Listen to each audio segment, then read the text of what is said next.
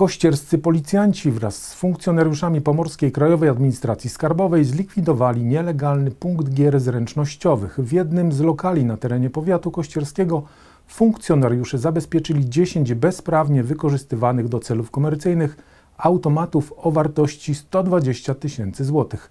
Właścicielom lokali grozi teraz wysoka kara grzywny oraz kara pozbawienia wolności do lat trzech.